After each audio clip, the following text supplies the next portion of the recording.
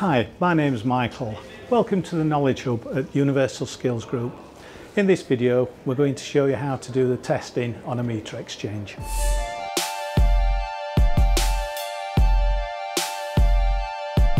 Okay, so today we're going to go through the testing procedures. Um, we're going to use the acronym of Pepsi, other soft drinks are available. So we've got the plug-in tester, the Tech 100, the VT7, the Drummond's test lamps and the proving unit. We also need to make sure that we're wearing our face visor and using our rubber gloves when we're going into the cutout. Okay, so as we talked about Pepsi, we're using P for the plug-in tester. Let's make sure that we've got the three lights to make sure that the polarity is correct before we start the work on the job. So now we go on to the E for extraneous metalwork test. There is a proving button on the unit, but don't rely on that. Always make sure that you test it in a proving unit and making sure that the light does light up. Also be aware when you are using this test instrument, you hold it towards the back um, if you think of that as a thumbprint because if you hold it towards this end it doesn't always light up when you would expect it to. So now I would use the VT7 across all the screws to make sure that none of the screws uh, light up.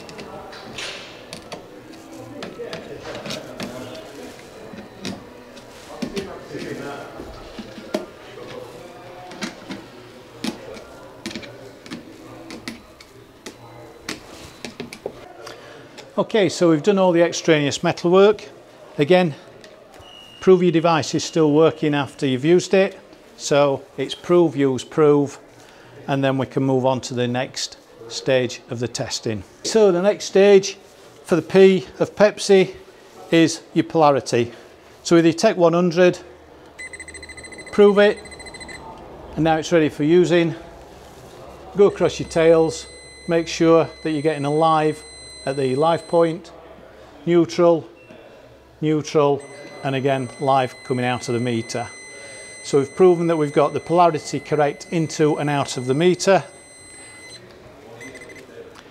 Reprove, and then you finish that part of the polarity test.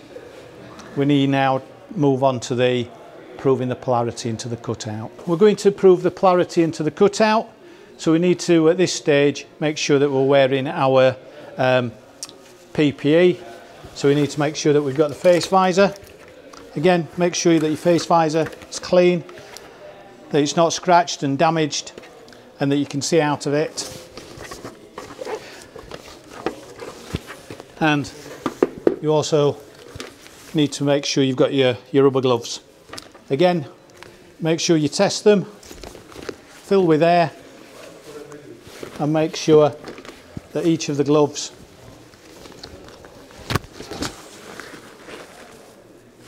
are fit for purpose.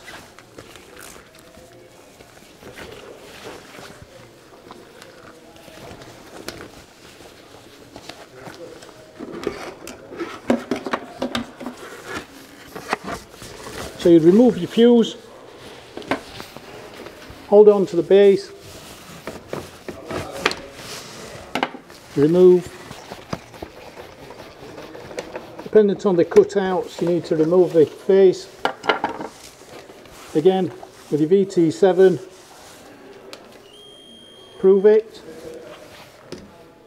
use it, and prove it. You've now proven the polarity in the cutout. Okay, so the next stage is to check that you've got a supply. So you want to make sure you've got the live, neutral and earth. So this is where you use your Drummond's test lamps. Now I'm checking the supply.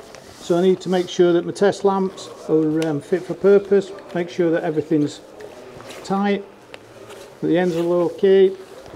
And again, use your proving unit. So it's prove. Then you would start by using prong on the earth, across your neutral, and then across to your live. And then again, from your neutral, across to your live, and then across from earth to neutral. That's now proven that I've got a supply. I've got a live and neutral and a live. So I've got live and neutral and a live and earth.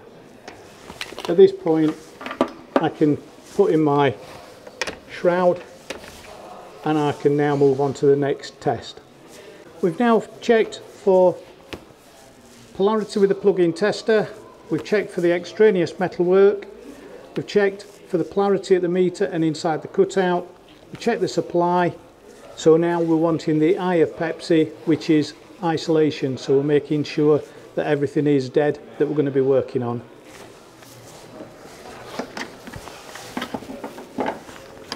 Okay, so make sure we prove the test lamps. We now use the reference point on the earth, across the meter and checking that we're not getting any light. Again, we go across the neutral and again check across all the terminals, making sure again there's no light. On some contracts they also want you to go across each of the terminals on the meter and then when you're finished make sure again you prove that they're still working. So that completes the isolation or proving not live test. Okay so I've now done all the testing. I've proven everything's not live.